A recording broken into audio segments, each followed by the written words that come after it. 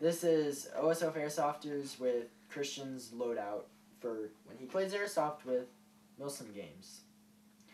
Um, I have a Airsoft GI G4A3 blowback airsoft gun version with the, the Mad Bull rail system, an Ovesky tip, and uh, the original backup flip up front sight.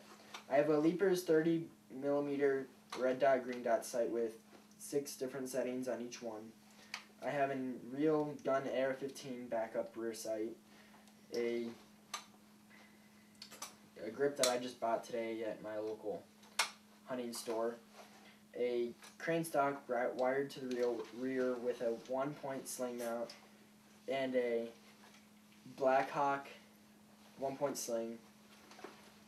then I have an OETech MPS vest with 10 King Arms mag, mid cap 139 mid cap mags, the Pantac 100, 1000D Cordura admin pouch, a OETech dual pouch um, hydration carrier, uh, Kmart walkie-talkie, OETech MPS vest.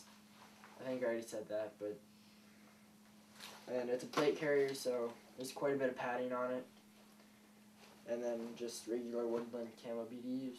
That's it. Most of the links for this equipment will be posted down below. And please subscribe up top. Thanks. Bye. Hey guys! Just kidding. Um, I'll cut that out. Bloopers! Um, this is OSF Airsoft Hog Barrel Rail System. The Ovesky tip with the original. Cut that out. He said. He like- said. with um okay with the Mad Bull um oh my gosh with the Mad Bull with the Mad Bull with the alright shut up now with the Mad Bull rail system and Ovesky